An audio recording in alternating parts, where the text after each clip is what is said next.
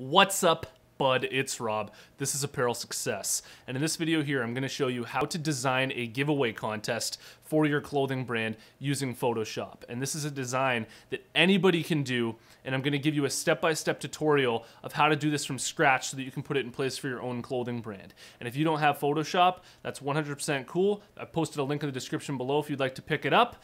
Otherwise, let's crack into it.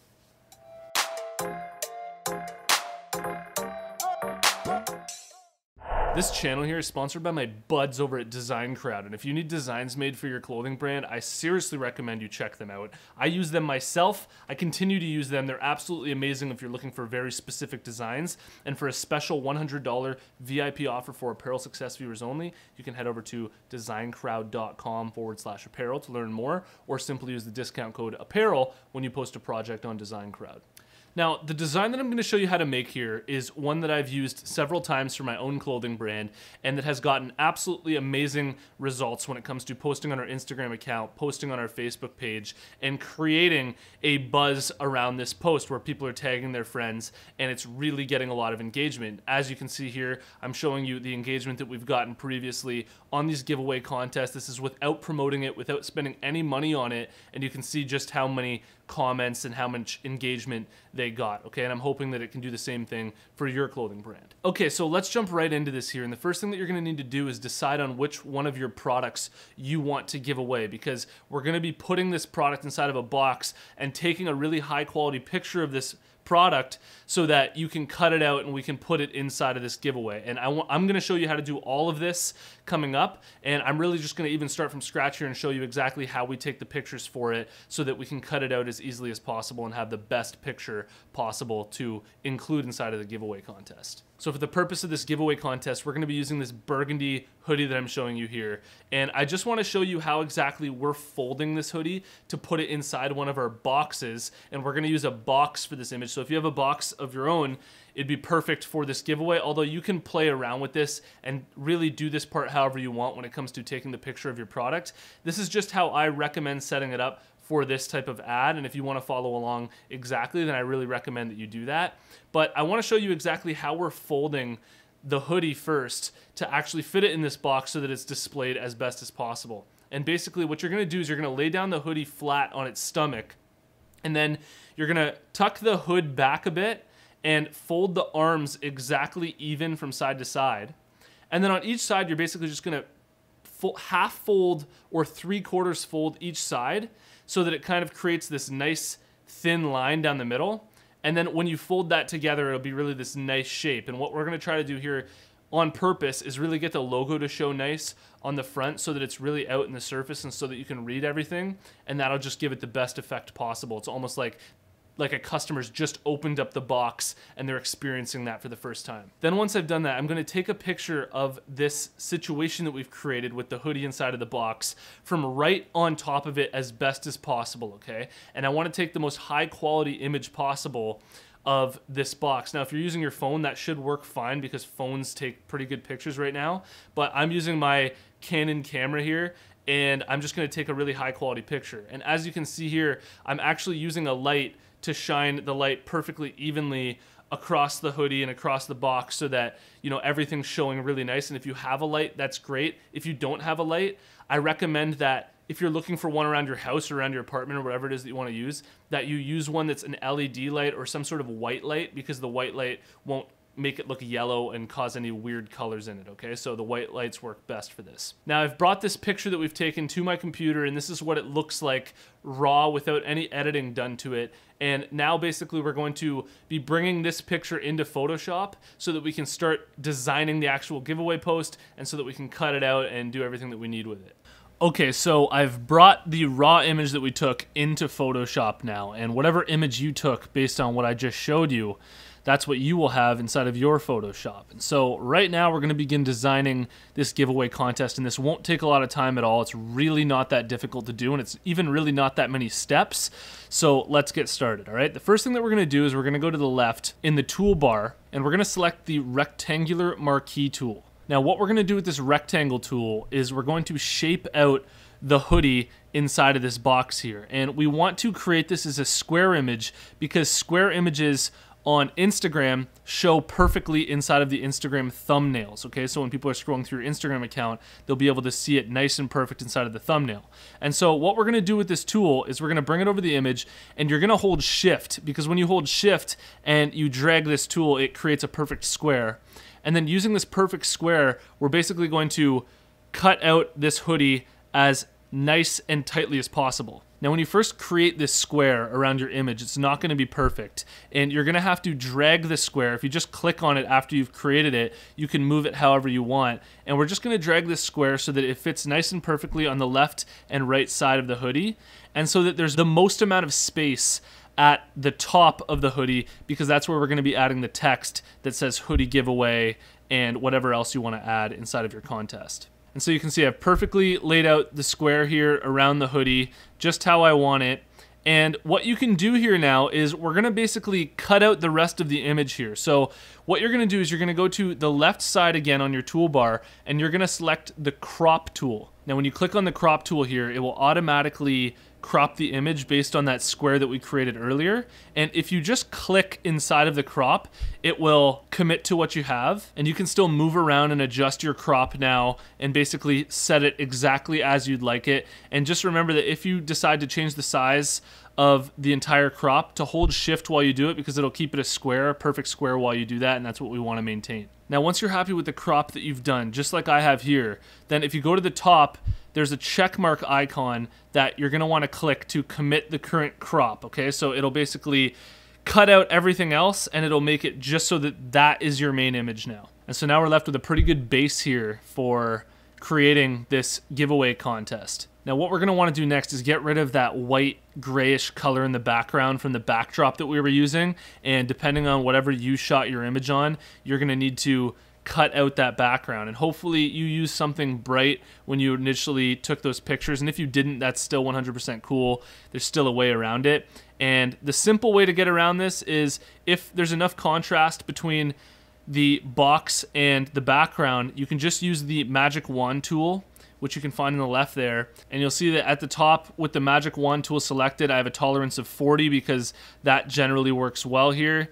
And what we're going to do now is just click inside of this white area and it will automatically highlight the area that we want to get rid of. And then I'm just pressing delete on my keyboard, okay? And I'm just going to do this until all of the white areas are gone around the image so that all that we're left with is basically the hoodie inside the box. Now, if your background is too similar to the color of your box, then what you can do is just use the eraser tool and do this manually, okay? So if you select the eraser tool on the side, you can go through the edges here and just cut out the image. It's really not that hard. There's not a lot to do here, and if you're really careful with it, it really will look exactly the same as if you use the magic wand tool to do it. But what I'm just doing here is I'm smoothing out the box because the magic wand tool kind of left a bit of chunkiness to the box here and I'm just basically smoothing that out. All right, so once the background's all cut out and you're just left with your box here, the next thing that you're gonna do is we're going to add another layer on top of this one, okay? So in the bottom right there of Photoshop, you can see where I'm clicking it. We're just gonna click add new layer and this will create a layer on top of it. And with that new top layer selected, we're going to use the gradient tool here that you can find in your toolbar to create a gradient effect on top of the box so that we can add text over it and so that you can actually read the text clearly. So click on the gradient tool inside of your toolbar and at the top you will want to select the second one in, which is the one that goes from a solid color to a transparent color. And then inside of your colors, you're gonna wanna make sure that the color that you have selected as your foreground color is white. And when you've done that, what you're gonna do is you're gonna go to the top of your image here and about halfway down, from this top flap thing on the box. What we're gonna do is you're going to hold shift because when you hold shift, it'll keep this line straight for how you're applying the gradient. And you're just gonna drag it down and let go. And what this will do is it'll create this gradient effect where it'll be kind of this almost fade out into the hoodie that you have. And I'm gonna do this a few times just to sort of allow it to look a little bit more natural and kind of like the lights just fading right into the hoodie and so that it looks really smooth. Just make sure that you're holding shift while you do this because if you're not holding shift, you can get these weird angles with it and you want to be holding shift to make sure that it's a perfectly straight line up and down. And we're going to be adding the text on top of this. All right, so let's add the text on top of this image. On the left-hand side in your toolbar, click on the text tool and at the top, you can see that we're using the Homestead font. That's the font of our brand. And whatever font your brand is that you use in your main logos, that's a really good font to use for your giveaways because it keeps the branding really strong. And what we're going to do next is just change the font color to black because the top font that we're going to be using here is going to be black. Then we're just going to click on the image here and what we're going to be typing for our giveaway is hoodie giveaway. Now, if you're doing this with a t-shirt or with anything else, you can obviously put whatever you want. But we're going to write hoodie giveaway, and we're going to space it at the top here as big as possible. And after you've written the text, if you want to actually select the text to expand it and change its size, all you have to do is press Control T or Command T if you're using Mac, and that'll allow you to actually drag the size out. And of course, if you hold Shift, it'll keep it the same exact proportions so that you don't get any kind of weird shapes with the text. And if you hold shift, it'll keep it absolutely perfect. And so that's what I'm doing here. I'm just basically expanding the size and making it perfect so that it fits right at the top. All right, so the next thing that we're gonna do is we're gonna add another text layer here.